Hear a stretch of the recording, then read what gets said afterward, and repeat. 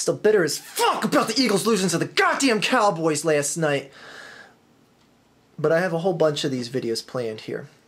And in the closing weeks here of 2014, I've been doing a number of these 2014 Archfiend Awards, for lack of a better term.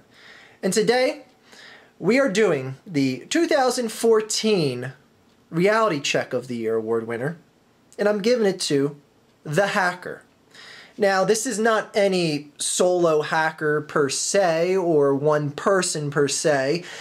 It is just the thing that has really, that should check reality, in my mind, more than anything else, is how for granted we take where our information goes, what we're doing to back up, how safe is it, how safe is it that we use a credit card here or there, just all these number things got so exposed and, and, hacking's been going on for years. I'm not saying that hacking didn't exist until 2014 but it got to a level of you know we should really really really more than ever start really honing down on what we really want to do with our data and what services we're using.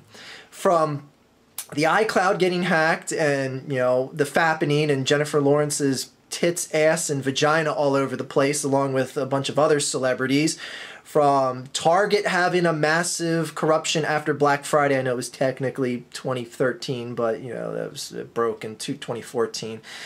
Uh, Target having uh, you know all their systems hacked or whatever, from Sony getting hacked just a couple weeks ago, and various emails and information being released. By the way, it's uh, one of the emails released was um, Bill Murray talking to executives about how he actually doesn't want this female version of the Ghostbusters to be made, but now he's doing the politically correct thing and giving it a public endorsement. uh, anyway, um,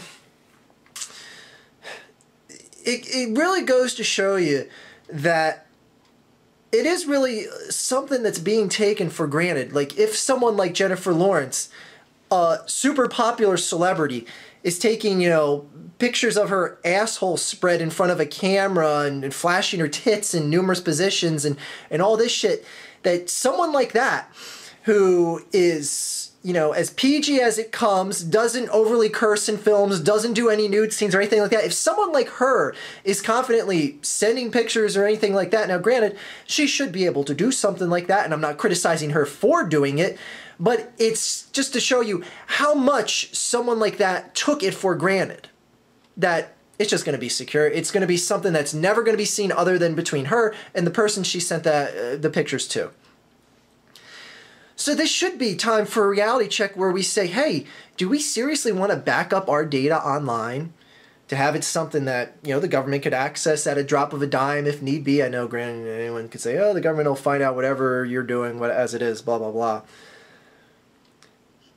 But we are at a state in time where it's like, you know, everything is pretty much electronic. Uh, we all have credit cards. Well, most of us do.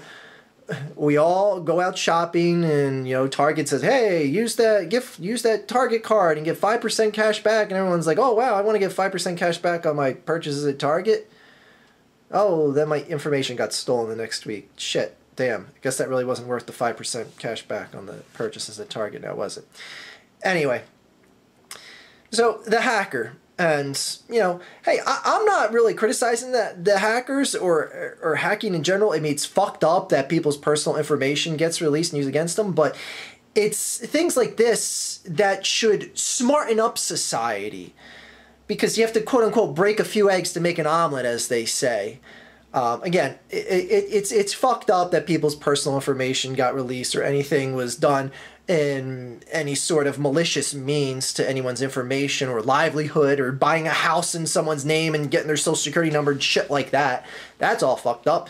But it should also serve as a good as far as a reality check goes in that saying, hey, um, we really need to crack down on shit here. Companies need to find a way that they can't get hacked. I mean, Christ, if a big mega colossus company like Sony, like Target, like all these companies just getting hacked by just someone that has a lot of time on their hands, or maybe they don't. And they're just a genius that knows how to work the system and get in through the back doors and all that shit. Anyway, The 2014 reality check of the year is The Hacker.